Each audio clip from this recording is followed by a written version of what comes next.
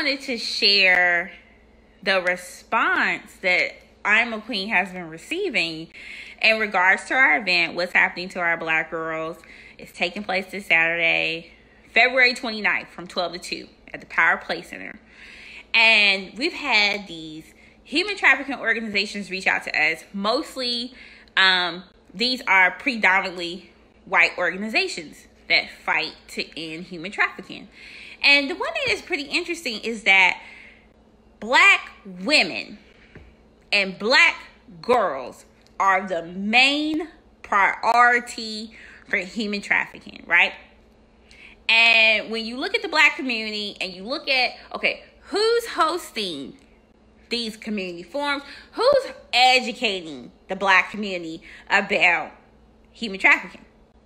And it's really not us. Like, it's really not us. It is these organizations out there that don't look like us. And they're trying to knock down the door to see how they can get in front of uh, people of color. So what was going on? It was it was like in the month of November. It was a lot of stuff happening in the media. It was a lot of things happening on social media. There was like so many Amber alerts on black girls missing. It was so heavy that I remember walking in the parking lot and I was like, I don't know what we need to do, but we need to do something. And I just heard God say, What's happening to our black girls? And I was like, What? And it was a it was it was so clear. What's happening to our black girls? Are we talking about our black girls going missing? Are we talking about black girls going missing to the point that the media is not covering it? Are we talking about it? And the black community is not talking about it. I mean, we share it, we get upset, but are we really educating our kids about what's going on in this state? Because North Carolina is in the top 10 states for human trafficking. Real talk. And the reason being is because North Carolina has so many accesses, well, access on the highways, Highway I 40, you got 95, you got I 85. So there's so much access for people to get to these girls. And here's the thing this girl, she talks to me because I'm not going to sit here and act like I'm an expert. I am actually learning in the process of this. So one of the girls who's speaking on our panel, she said this to me. She said, it's not about people snatching our teenage girls. It's really about the relationships that they're having with these men. To the point that your daughter, your cousin, your niece, whoever, your friends, friend of a friend, she could be in a relationship with somebody that she trusts that she is rocking with or she you know she's in a relationship with somebody.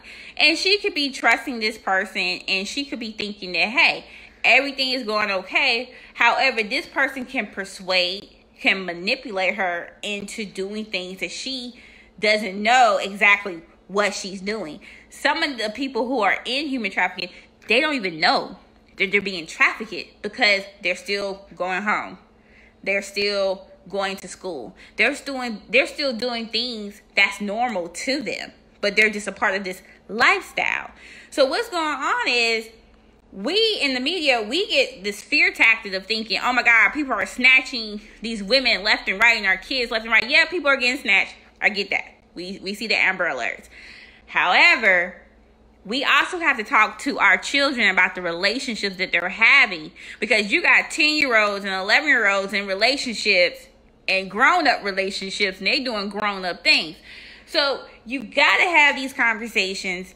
And I know in I'm a queen, we're very, we're very uh good for having very important conversations, very blunt conversations. We are very, we are known for having blunt conversations with people because at the end of the day, I'm trying to save your life. I'm trying to help you. I'm trying to get you the tools that you need. So when you look at human trafficking, you got to look at the facts you got to look at the relationships that the girls are having. And you got to look at why is it that these people are disappearing, but there's not a lot of media attention. So what's happening next Saturday? Well, this Saturday, this Saturday, February 29th from 12 to 2 at the Power Play Center. It's located at 2207 East Cone Boulevard. It is free. You show up. You show up for your sister. You show up for your child. You show up for your niece.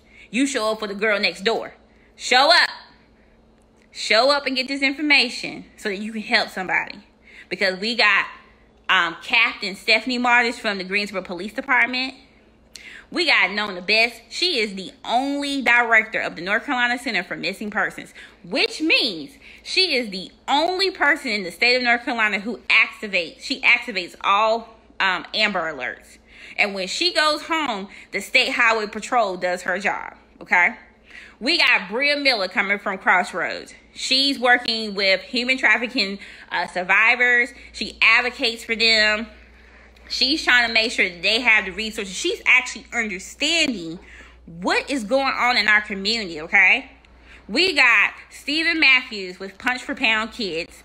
He's going to be talking about self defense, how to protect yourself, what to do.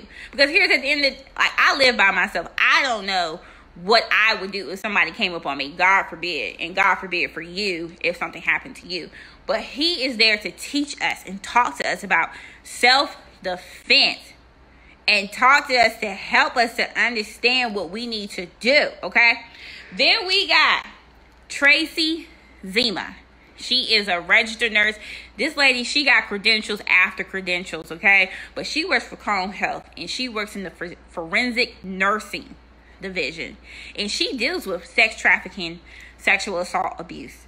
And this woman, she can understand, she's going to be able to talk to us from the health perspective of what's going on when these women come to the hospital or when these girls are coming to the hospital. So this is a real topic. I need y'all to be in place. I need y'all to show up.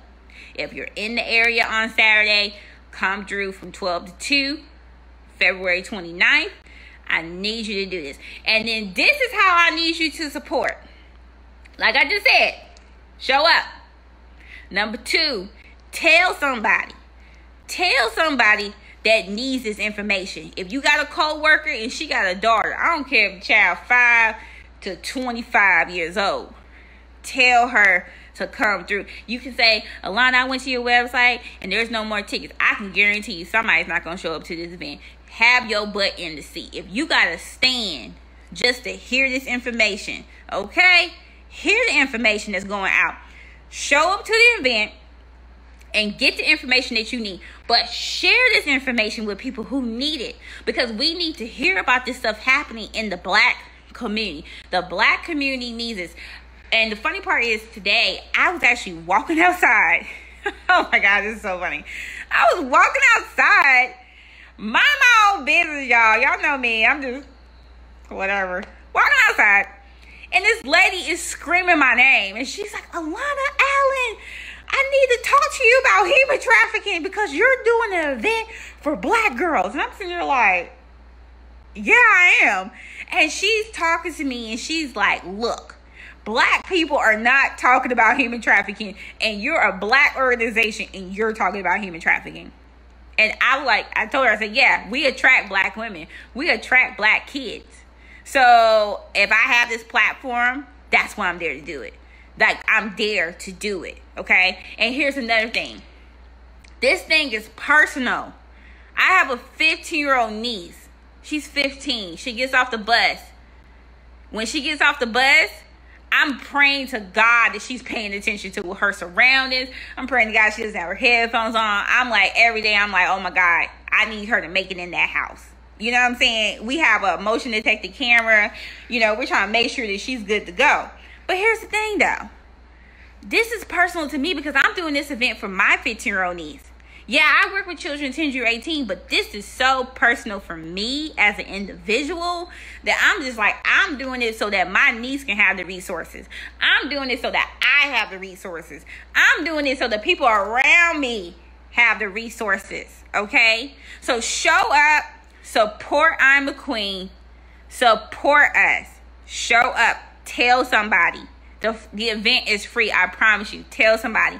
And if you want to see more conversations, if you want to see more conversations about black women, black girls, if you want to talk about different topics, support this organization by going to iamaqueen.org and click on donate. click on donate so that we're able to pay for more community forums that benefit the black community and especially the black woman.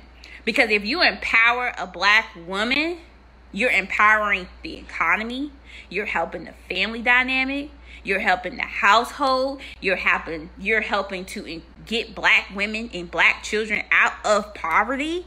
So, support this organization by donating whatever you can to support this community forum so that we're able to have more conversations about human trafficking. We're more, we're able to have more conversations about self-esteem and loving our skin and loving our hair and loving who we are and how to protect ourselves and helping black women to get over the wall of whatever's holding them back, whatever mountain they're facing.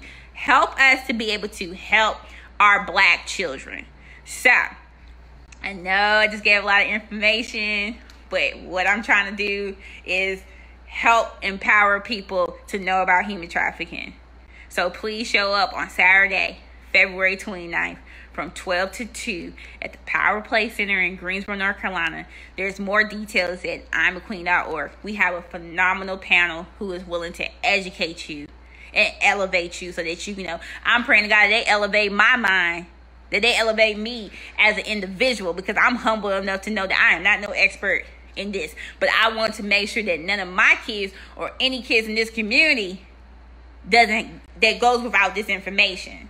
So show up, tell a friend, donate at iamaqueen.org to support more conversations and more community forums about black girls. Our black girls matter.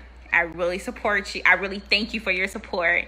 And I will talk to you later. Thank you so much. And if you have any questions, please post them below and be prepared to ask questions at this community forum because this is what this is what these people are showing up for. They're showing up to answer your questions. Okay. So thank you so much, and I hope you have a great evening.